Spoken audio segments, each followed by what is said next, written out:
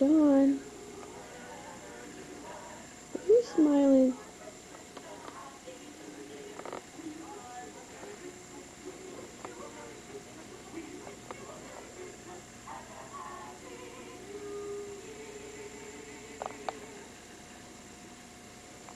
There he goes. He can smile for us.